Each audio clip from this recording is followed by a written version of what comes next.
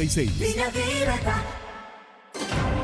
Sumérgete en la noticia desde un nuevo ángulo, audaz, agudo, maduro y dinámico en la mesa de análisis, presentada por Mochomos.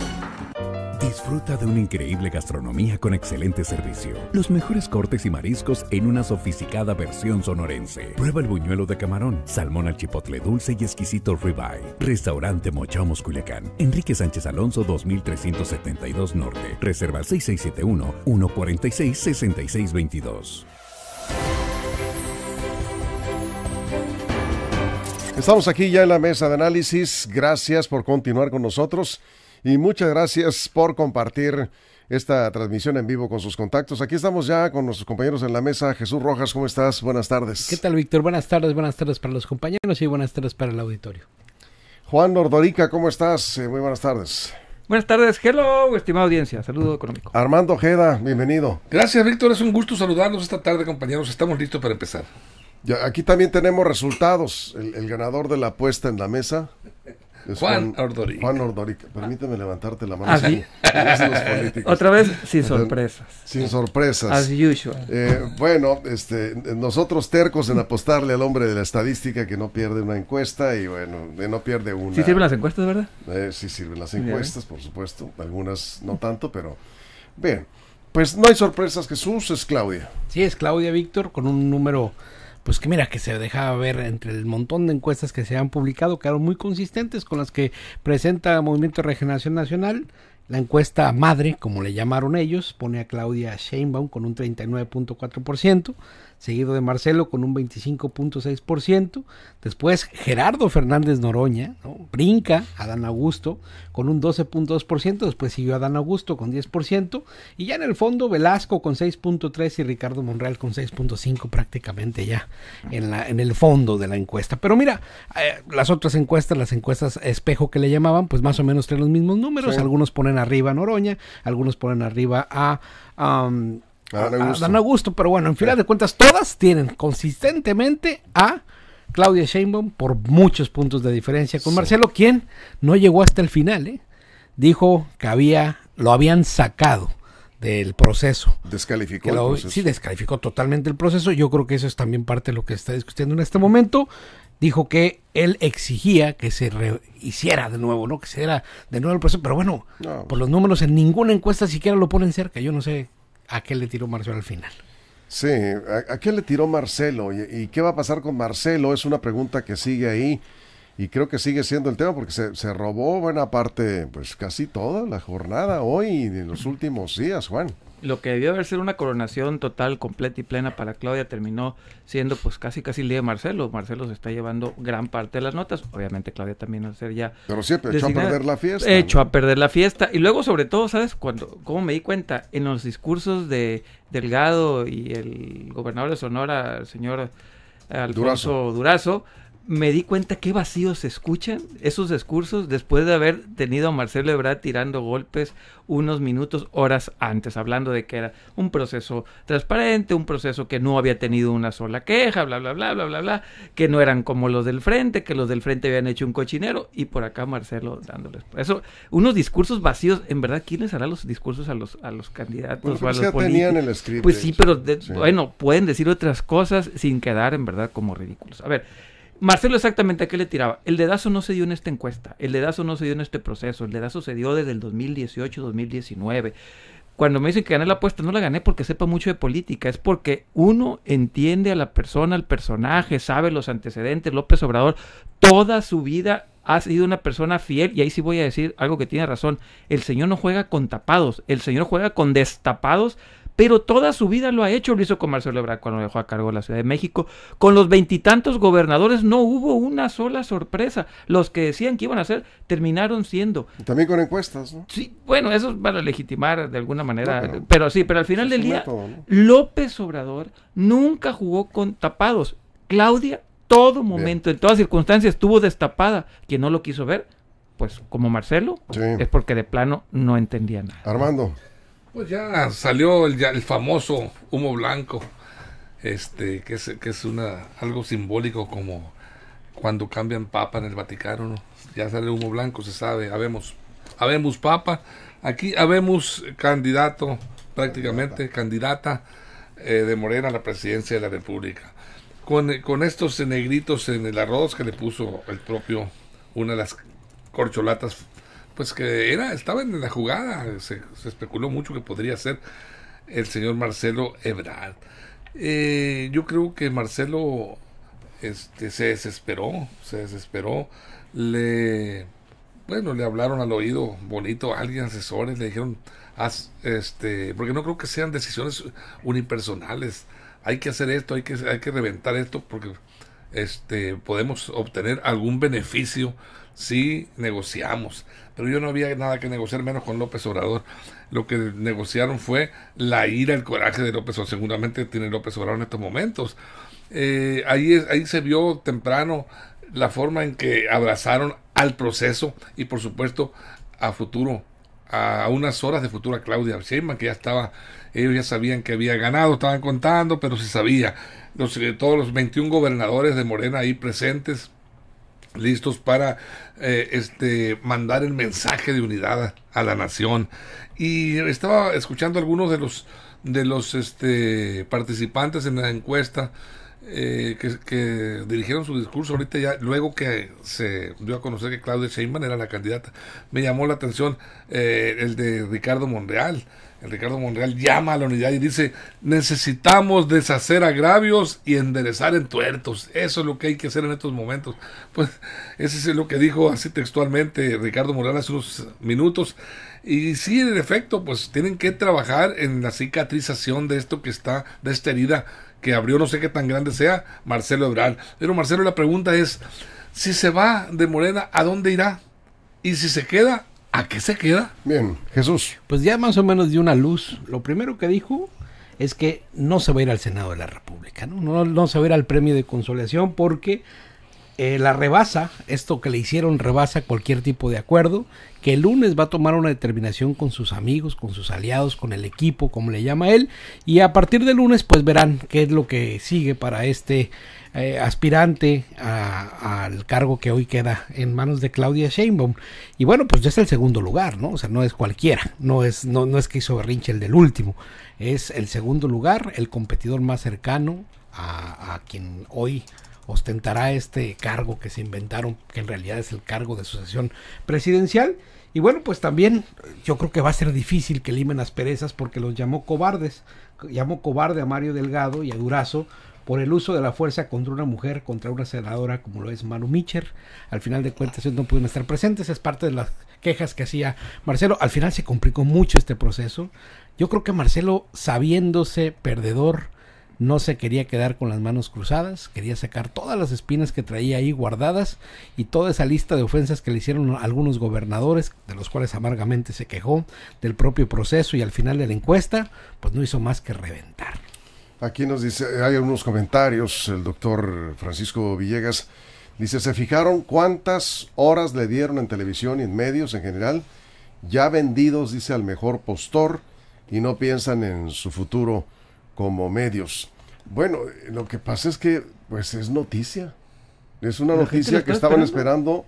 millones de mexicanos en el país. Y todos los medios, También Por supuesto, los medios están ahí, como estuvieron también en el evento del domingo de Xochitl Galvez, del Frente Amplio por México.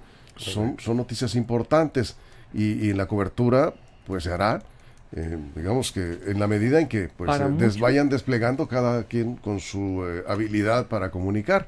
Pero eh, respetable su, comentario. para muchos hoy, se, hoy se definía la presidencia de México. para muchos, por eso es una nota. Es, que si la elección fuera hoy, Morena gana. Entonces yo creo que, que es, válido lo que hizo la prensa. Ahora, el caso de Marcelo Ebrard, en verdad, sí es bastante complicado, es bastante raro. Yo creo que sigo insistiendo que no se va a ir a, otro partido porque de aquí a lunes va a voltear a todos lados y van a decir, compañeros, nos vamos a la revolución y va a voltear para atrás y a la revolución no lo va a seguir nadie.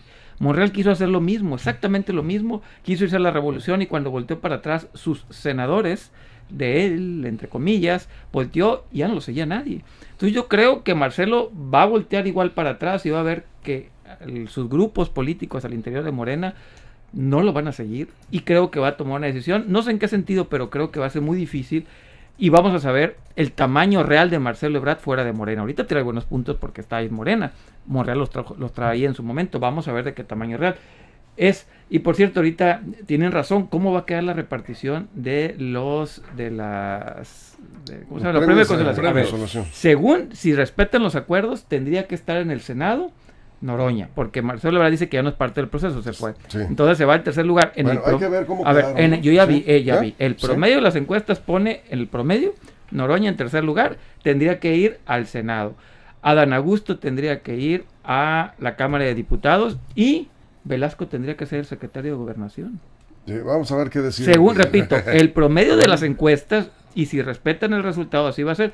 Si nada más se basan en la, en la ¿Y encuesta. quién de- iría a la- a la- al gobierno de, de la Ciudad de México? Esa es una buena pregunta. yo creo que va a ser, y como apuestas, el señor Harfuch. Ya no te apuesto. Harfush. No, no, este, no, ya, ya déjate de Porque tiene que ver, eh, tiene- eh, porque necesita votos Morena, quiere Ah. el presidente sacar ese famoso Y está muy bien posicionado. y, y es el que tiene Sí. más, el que tiene más eh, ventaja. Vamos a ir a una pausa en radio, seguimos en redes aquí sin comerciales y cuando estemos de regreso vamos a mostrar eh, la nota de línea directa y efectivamente eh, es histórico. México tendrá, si otra cosa no sucede, por primera vez una presidenta Sí, claro. eh, de la República, ¿sí? Así que eh, es, Eso es, es, eh, prácticamente un hecho. es casi un hecho. No podemos saber qué va a pasar en el proceso electoral, pero esa es la importancia del evento de hoy, ¿sí? Que se nomina a la segunda mujer y esta elección, aunque fuera Marcelo por Movimiento Ciudadano o Samuel García o quien sea, va a ser una elección de dos poderosos bloques eh, en la elección de presidencial. Bueno, vamos a la pausa, regresamos, estamos en la mesa de análisis, continuamos.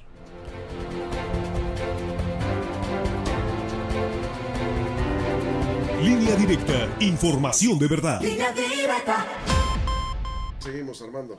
Pues sí, Víctor, ya tenemos a, a, a Claudia Sheinbaum eh, prácticamente como candidata. Para mucha gente, prácticamente esta tarde se eligió a la próxima presidenta de México, según pues eh, la percepción eh, política y social que hay en México. Morena está muy fuerte y yo veo, a, a- me llama la atención eh, dos, dos cositas rápidamente. Marcelo este, dice que va a analizar el lunes con su equipo, si se va o se queda. ¿Con qué equipo? Todavía lo irá a seguir eh, gente de, peso. Todavía sí.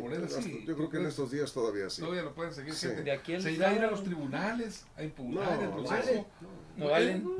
Bueno, Son de chocolate. podría ser de lo que sea, pero pues hacía, haría ruido, ¿no? Ya, ya empezó.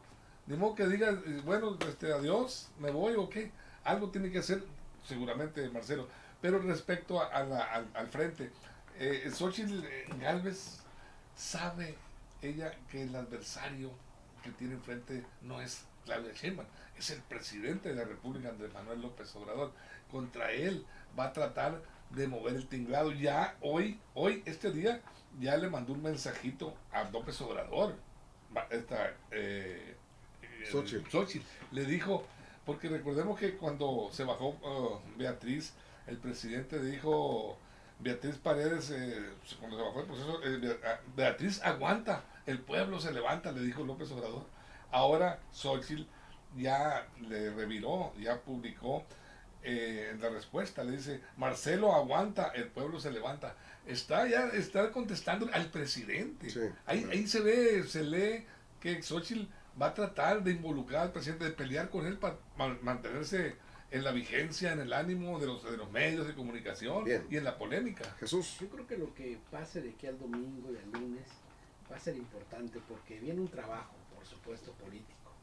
Hasta ahorita parece Marcelo pues, se fue pateando el bote, se fue pateando el proceso, pero queda mucho por platicar todavía, queda mucho por, des- por, por repartir, vamos a decirlo de esa manera. Es un fin de semana largo. sí, a lo Marcelo no, que por supuesto que no quería el Senado, por supuesto que menos quería estar en la administración de Claudia Sheinbaum, a lo mejor trae otras jugadas, difícilmente creo que se vaya, pero hoy sí se veía molesto, hoy sí se veía que no lo calentaba ni el sol, y sobre todo porque sí se, en algún momento se llegó a salir de control, ya viste, hasta compañeros de medios de comunicación salieron empujados y ahí por, por, este tema de la seguridad que ya decíamos en la mañana, estaba muy raro que estaba elementos de seguridad al exterior y al interior no sé, verdaderos gorilotes así empujando y como fuera. Entonces, este, imagínate, yo creo que desde ahí se notaba que iba a estar tenso y caliente el ambiente. Sí. Bueno, eh, se está, hay una fuerte especulación, habrá que esperar. También, Ay, la, y to- perdón, todos. la de Harfuch la tomo, ¿eh? es así. Sí, todo ¿verdad? ahí, sí, yo, la de Sí. Harfuch la tomo. Sí, la tomo. tomas la apuesta. Dame unos Es- 15 días más para ver la encuesta. Ah, yo, yo pensé que ya estaba en firme, pero... Sí. No, no, ¿Cuál no, no, dame ¿Cuál unos es? 15 días más Es para... que, yo, de- de- de- es que dice Juan que en la Ciudad de México Harfuch podría ser, y es cierto, De Morena. Es, es el más. Sí. el- Es que quiero ver quién más se va, quién más se va a subir y dependiendo de eso ya hago. Por el frente está Enrique de la Madrid, ya se subió. Sí, sí, no, pero- Con buenas posibilidades, ¿eh? Sí. tiene, tiene buenos números. Puede estar también Beatriz Paredes. ¿eh? Puede ser Puede ser Beatriz Paredes. O no, o alguien de los ahorita alcaldes que también tienen muy buenos números ahí. de la ciudad. Sí. No, en 15 días tomo la de Harfuch o no, porque quiero ver, es que necesitamos saber qué cercano de Andrés Manuel anda por ahí rondando también. Eso, eh, yo me voy a basar Te mucho en duro eso. Jesús, Juan. No, no, no, es que nomás necesito tener un par más de información y con gusto la, la hago. ¿no? No tengo problema Eh, alguno. eh, sí, porque ya después de, de que se ha nominado, digamos, a la futura candidata de Morena a la presidencia, pues lo que sigue es la Ciudad de México. Sí, sí. En el orden, pues, de, de Sí, importancia. Claro, y es, y las eh, gobernaturas más bien, luego las senadurías. eh, ¿no? es, es- ese tiro va a estar bueno, como dicen también, sí. ¿no? Nada más, pero en 15 días la agarro, no, no problema. más quiero ver Muy bien. qué cercano a, a López Obrador anda por ahí. Pero rondando. comentaba que se está especulando fuerte ahorita. Bueno, vamos a regresar del corte. 3836. Línea directa.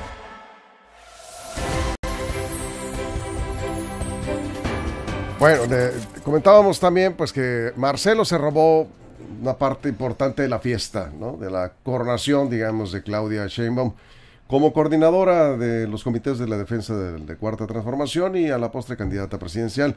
Le, ha- pues digamos que le echó a perder un poco la, la fiesta. Pero hay quienes dicen, y esto estamos en el terreno de la especulación, ¿sí? que todo esto es un plan muy bien armado. Me refiero al berrinche de Marcelo, la forma en que se fue, la forma en que descalifica el proceso, y que el lunes Marcelo Ebrard estaría anunciando que eh, aceptaría una invitación de Dante Delgado para ser candidato de Movimiento Ciudadano a la presidencia de la República. Si Marcelo va por Movimiento Ciudadano, voy a creer esa versión de que todo estaba armado. Porque si va por Movimiento Ciudadano Marcelo Ebrard, va a dividir el voto de la oposición y va a ayudarle a Morena a ganar con mayor facilidad la elección. Eso es lo que hacía bote pronto yo estoy viendo, Juan. A ver, coincido, pero no creo que esté armado. O sea, coincido que puede ser una posibilidad, pero no es un ajedrez de cuatro dimensiones y que esto, a ver, no. Esto se trata de seres humanos, seres humanos que tienen mucho ego, seres humanos que tienen bastantes eh, intenciones de buscarlo. Creo yo que esto Marcelo Ebrard lo viene trabajando desde hace rato, o sea, esta, esa posibilidad. Por el mismo carácter y personalidad del presidente López Obrador, veo muy difícil esta, repito, de las tres, cuatro dimensiones. Sobre todo porque Marcelo va a tener que tomar una decisión. Si es opositor, va a tener que atacar al gobierno. Porque si va de tibio a decir, bueno, es que hicimos unas cosas buenas y otras malas, se puede desfondar. Si va de opositor, tendría que ser un real opositor. Y ahí sí López Obrador no le va a permitir, por ejemplo, que hable en contra de las vacunas. Porque estuvo ahí, le tocó a Marcelo Ebrard, ha criticado a López Gatel en el tema de salud. Tendría que ir con el tema de las pipas que compró. Tendría que ir con un montón de cosas. El tema del metro. Tendría que atacar directamente a Claudia Sheinbaum con el tema del metro. Por eso no creo Sí creo que se puede ir a, a Movimiento Ciudadano, lo que no creo es que sea esto un ajedrez de cuatro dimensiones, no. Creo que es algo más sencillo, algo más simple. Marcelo Ebrard quiere la presidencia, la ha trabajado, la ha buscado y va a intentar. Pero vamos a, a ver Sí. si es un real opositor o va de tibio, ¿no? Eso es. Armando. Marcelo, eh, eh, yo creo que no eh, explotó, explotó y no pudo controlar sus ímpetus, el coraje que le causó. Ahí fue donde explotó Marcelo, cuando la senadora Malu Mijer, que era su representante ante el, el- el órgano elector, el revisor, quiso entrar acreditada con su gafete, lo presentó y no la dejaron entrar al World Trade Center, ahí donde estaban contando todos, la rechazaron violentamente y no la dejaron entrar. Ella se queja ante Marcelo y Marcelo explota y es donde califica como grave la vejación a su colaboradora y dice que Mario Delgado y Alfonso Durazo son unos cobardes. Así lo gritó en público y eso no me parece a mí que sea una tipo de juego acordado. No, no, le ganó el coraje, la indignación a Marcelo Ebrard y a los dos hombres, a los dos operadores principales de la 4T, que son Mario Delgado y Alfonso de este proceso, los llamó cobardes públicamente y bueno, e, ese, ese generó pronunciamientos, gritos de apoyo, de júbilo de los seguidores de Marcelo ahí mismo, presidente, presidente, le empezaron a gritar. Toda esa situación pudo haber eh, habido un acuerdo, sí, a veces hay acuerdos, pero llegar a estos grados de ofensas y de gritarse así en público, yo veo muy difícil, la verdad, porque se puede estar en acuerdo entre ellos, pero la gente, ¿cómo la convence de que era mentira? Sí, pero Marcelo, si se va por Movimiento Ciudadano, no va a ganar la elección, entonces ¿a qué iría? Y además, para que eso suceda, Claudia no tiene que hacer el trabajo. Y Claudia, a partir de este momento, tiene la responsabilidad de dar el primer paso en la construcción de su candidatura y eso no se lo va a hacer Andrés Manuel López Obrador. Es algo que no se puede poner de otra, de otra forma. Debe de tomar el control del mando, y aquí lo pongo entre comillas, del próximo gobierno. Si quiere comenzar bien su proceso de transición, si quiere comenzar bien su proceso para de cara al 2024, debe de mostrar con contundencia que está en sus manos el proceso de la transformación histórica, como le dijo Durazo. Si no busca a Marcelo, si deja que las cosas corran, si no hace operación cicatriz, si no hace las cosas que debe de hacer un candidato cuando gana, está entonces metiéndose en verdaderos problemas. Si espera que el presidente le resuelva eso, va a mostrar gran debilidad de cara hacia el futuro. Ella tiene una gran responsabilidad. Ahorita con lo que le acaban de dar, comienza una nueva etapa en el movimiento de regeneración nacional y si no lo puede entender así, creo que entonces sí, estará complicándosele. Bueno, eh, yo creo que nada se mueve sin la autorización del presidente López Obrador. Acá nos comenta Carlos Armando Camacho desde La Paz, le mandamos un saludo, ingeniero. Nos dice que, eh, que está de acuerdo contigo, Juan, que el candidato por la Ciudad de México podría ser Omar García Harfuch. y se me vino literalmente, es que la, la, otra carta de Andrés Manuel López Obrador es Cuauhtémoc Blanco. Cuauhtémoc Porque está buscando, a ver, López Obrador está buscando votos, muchos votos para su proyecto este de la mayoría constitucional, entonces... Pero es un buen papel como gobernador. No importa, no importa, es Cuauhtémoc Blanco. y es Cuauhtémoc Blanco, punto. Pero, pero lo que comenta eh, este Carlos Armando es que eh, sí, es, sí es muy probable que sea eh, García Harfuch porque eh, está muy cercano a, Claudia Sheinbaum y que ella tendría que palomear eh, algunas candidaturas. en este yo tomé la apuesta, pero yo creo dame una semana para lo de yo, tomé la apuesta ahorita como se hizo, pero bueno. Yo creo que, el único que palomea candidaturas está en Palacio Nacional, es el único. Sí, y, no la tomé porque me falta, se me vino el tema de Cuauhtémoc, tengo que conocer la parte jurídica, creo que por no haber radicado ahí por cinco años, él nació ahí, pero creo que la parte jurídica, este de haber nacido ahí, eh, es el que podría ser. Por eso tengo que checar nomás eso y si no le tomo la apuesta. no, pues es que ya adelante vamos a ver. Yo te la tomo en este momento tal como la Nomás cheque lo de Cuauhtémoc la parte jurídica. con la apuesta. Armando, estamos cerrando. Yo, yo, fíjate que para la candidatura incluso del gobierno de la Ciudad de México, no creo que vaya a tener la decisión en sus manos absoluta Claudia Sheinbaum. No, no, es Manuel, Manuel López Obrador el que va a seguir poniendo candidatos, eh, eh, imponiendo candidatos, no poniendo, como en realidad impuso a Claudia Sheinbaum, porque la impuso. Es la candidata desde el principio, todo el mundo supo que era la candidata. ¿Quién construyó esa candidatura? se la construyó desde, desde que llegó él, incluso la presidencia de que, que pues, estuvo con él. Ya Claudia Sheinbaum, ya mucha gente allegados la empezaron a candidatar a verle el perfil. Ella va a ser, ella va a ser, la está moviendo bien el presidente. Y ella va a ser y ella fue. Entonces, ahí está ya ungida, prácticamente ahorita le llaman coordinadora para la defensa de la cuarta transformación, pero es la candidata ya y posiblemente la postura presidenta. Aquí algunos comentarios, Frank Llamas Tobar dice, Marcelo hizo el berrinche se vio perdido, aprovechó eh, cualquier error para irse de ofendido, no entendió que cualquiera que se oponga a la 4T y a López Obrador firma su suicidio político. Freddy Bojorquez dice, le volverá a ganar sin estar en la boleta López Obrador, si en el 18 pues obtuvo 30 millones de sufragios en la próxima elección tendrá entre 38 y 40 millones de votos. Esa sí la tomo, esa sí la tomo. Y ahorita mismo la palabra. Complicado, complicado. Luis eh, Raúl Hernández Marcelo está como niño chiquito berrinchudo, llorando, dice, para que le den algo. Eh, no necesitaba hacerlo, sencillamente como segundo lugar pues, tenía asegurado ya la, el, Yo el creo que- liderato del Senado. Y Carlos Tizoc, Marcelo, se lanzará como candidato independiente. Dice, no, para- no menos. La firma. Ni las firmas. las Sí, no, menos, menos. Cerramos 30 segundos. Sí, yo creo que Sí. al final de cuentas Marcelo todavía tiene una decisión por delante. El movimiento de regeneración nacional va fuerte. Al final Claudia Sheinbaum, pues ya vimos, sacó una muy buena ventaja respecto al resto de sus competidores. Y nada más para finalizar, una felicitación a Javier Verdugo Miller, quien está cumpliendo años el día de hoy. Ah, felicidades.